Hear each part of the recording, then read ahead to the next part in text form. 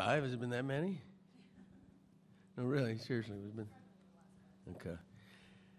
Well, I mean, he looked like the old guy. I, you know, I, that showed me he's back. Uh, you know, I thought his, his two-seam fastball, which is, is really kind of his bread and butter now, had had the right. Uh, I mean, it was moving down. That's you know, he, that, that kind of deserted him a little bit. I thought his breaking ball was much better today, uh, and even a few good changeups. And he was into it. You know, he uh, he looked confident. So yeah, that was a really good outing for him. What's the latest on Michael Saunders as you guys head into uh, NL Park where you have no DH? Well, I mean, something flared up in his right hamstring. Tomorrow, I'm, yeah, I couldn't tell you about tomorrow, but we don't think it's going to be any any length of time. I don't think.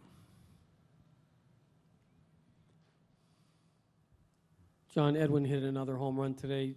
You've been asked this before, but what are you seeing with his uh, his batting stroke right now? Well, if we've been asked it how many times now? No, for the last. What's he, he's been on a roll for the last five, six days. It, it's been asked every day that. hey, his swing looks great. What else you want me to tell you? He's making great contact. And he's doing what he's doing. No, Buff, really, all seriousness, his timing's good. He's waiting it out he's getting a pitch to hit, you know, and they're giving him something. Really what it's coming down to. Sorry.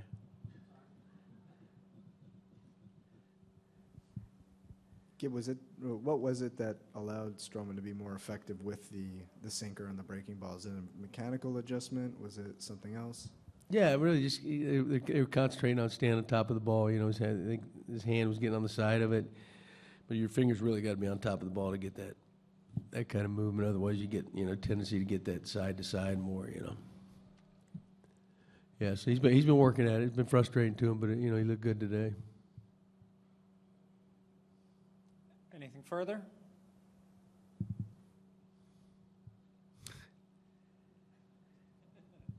John, just uh, about Josh Donaldson. I know much has been made about Edwin lately, but Josh's is it is it timing for him as well?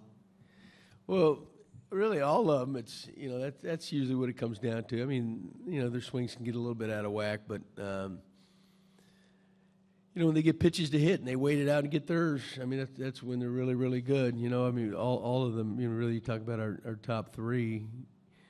You know, the guys are careful with them, and and um, and there, there's times. I mean, you can't pitch around everybody, but that's a tendency too. They and if if they offer it balls out of the zone, that's you know that's where they get them. But when they all wait it out and force them to bring it over the plate, you know, I mean, they can all they're all really good hitters, not just power hitters, really good hitters. And and uh, you know, Josh, big of course, big day today. Um, big day had a lot of guys.